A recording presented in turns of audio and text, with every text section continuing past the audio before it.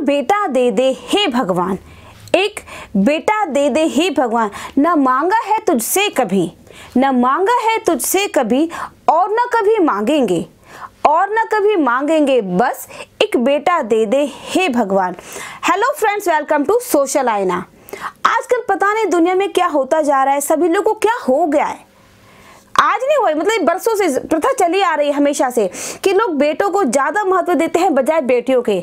ऐसा नहीं है कि आज की दुनिया बदल नहीं गई है। बेटियों को भी लोग मानते हैं, लेकिन फिर भी कहीं ना कहीं दिलो दिमाग में ये बात फिक्स है कि बेटा जो है ज़्यादा बेस्ट है, बजाय बेटी के। बेशक बेटी सबसे अच्छी हो, हर गुण संपन्न, हर सर्वगुण संपन्न, लेकिन फिर भी हमारे मन में, आपके मन में भी है, मेरे मन में भी है कि बेटा जो है ज़्यादा बेस्ट है। तो अपने इसी बात को मैंने छोटी सी कोशिश की है, कुछ शब्दों में बयान करने की, और मुझे उम्मीद है कि मेरी ये कोशिश आप सभी को बहुत पसंद आएगी। बेटा दे दे, हे भगवान।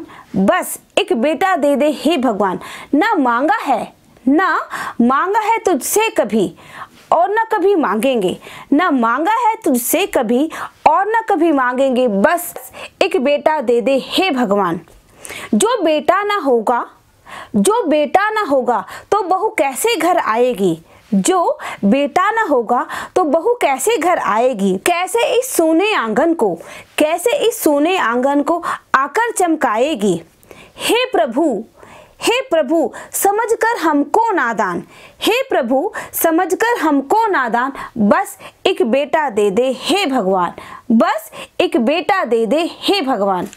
जो बेटा ना होगा जो बेटा ना होगा, मेरी चिता कौन जलाएगा? भाई, समस्या तो बहुत ही गंभीर है कि अगर बेटा नहीं हुआ तो चिता कौन जलाएगा? हमारी बॉडी तो ऐसे ही रह जाएगी। जो बेटा ना होगा तो मेरी चिता कौन जलाएगा? मेरे साथ पुश्तें यूँ ही रह जाएँगी, कौन बेड़ा पार लगाएगा? मेरे साथ पुश्तें यूँ ही रह जाएँगी, कौन बेड़ा पार लगाएगा? अब तो कर, अब तो कर मेरी इस समस्या का समाधान। अब तो कर मेरी इस समस्या का समाधान। बस, एक बेटा दे दे हे भगवान। बस, एक बेटा दे दे हे भगवान। बेटी का क्या है? वो तो पराया धन है। आपने अक्सर सुना होगा कि लोग बेटियों को पराया धन मांगते हैं। बेटी का क्या है? वो तो पराया धन है। आज यहाँ कल उस आँगन है। आज यहाँ कल उस आँगन है। छम छम गूंजेगी। छम छम गूंजेगी जिसकी पायल से। छम छम गूंजेगी जिसकी पायल से। वो तो मेरे बेटे की दुल्हन है। वो तो मेरे बेटे की दुल्हन है। अब तो समझ। अब तो समझ क्यों बनता है नादान? अब तो समझ क्यों बनता है नादान? बस एक बेटा दे दे, हे भगवान। बस एक बेटा दे दे, हे भगवान। तो मुझे उम्मीद है मेरी कविता आप सभी को बहुत पसंद आई होगी और हम सभी बेटे की इच्छा मन में बेशक रख लें, लेकिन बेटियों को भी कहीं से भी कम नहीं मानेंगे। अगर आपने अभी तक सोशल आईना को सब्सक्राइब नहीं करा है तो इसे सब्सक्राइब करें, लाइक करें, शेयर करें, जहाँ आपका मन चाहे।